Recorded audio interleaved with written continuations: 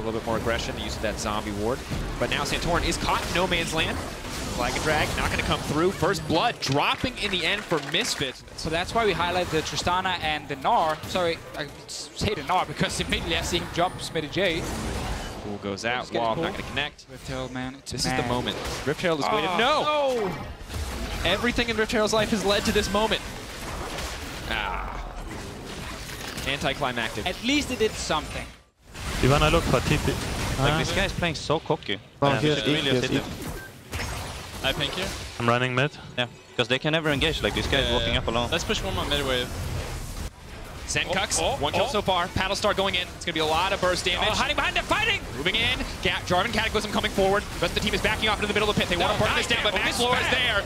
Misfits looking to turn this back. Who's actually going to get the Baron? Promisq is still alive. Sheriff untouched. Mini J has gone golden in the backside, but will Oh, get God, taken down. Misfits are cleaning house.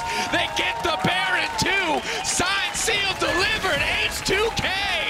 Oh, God, it's all just falling apart. Misfits with the clean eight. How they turned. Only one. Wait, Misfits. They're trying to win the game. No, no, this is way ahead of schedule. You're not allowed to do this.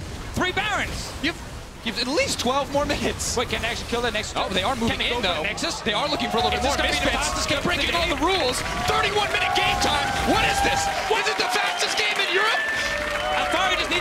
PC and he wins the game. Alphari Unleashed, Misfits Gaming,